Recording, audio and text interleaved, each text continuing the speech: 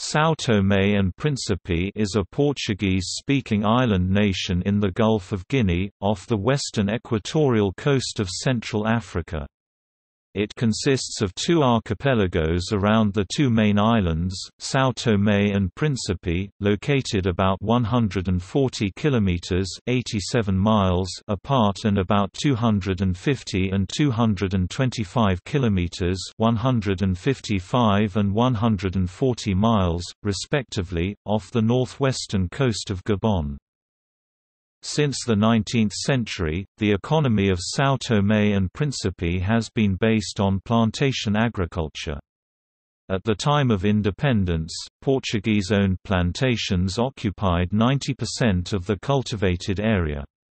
After independence, control of these plantations passed to various state-owned agricultural enterprises.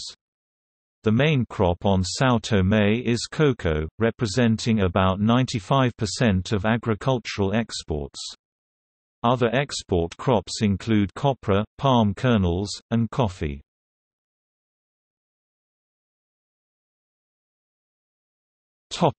Notable firms This list includes notable companies with primary headquarters located in the country.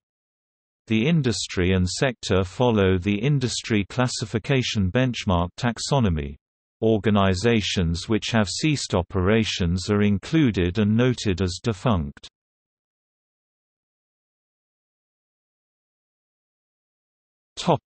See also